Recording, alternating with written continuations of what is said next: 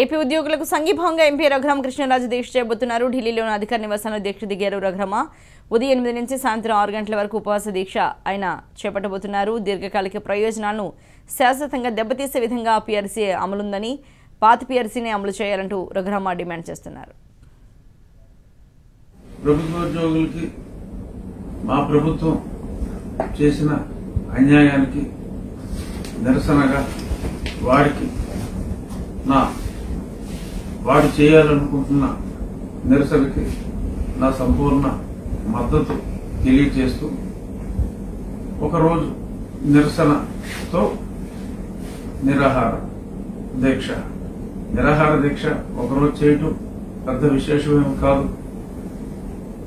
కానీ ఈ జరిగిన అన్యాయానికి మద్దతుగా ఇది కేవలం వారికి సంఘీభావం తెలియజేయటం కోసం చేస్తున్నదే.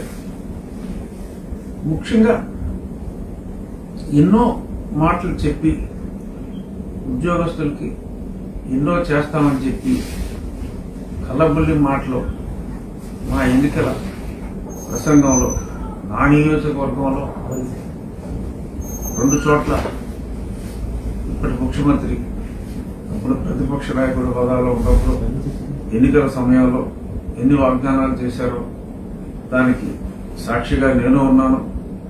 ప్రజలందరూ ఉన్నారు.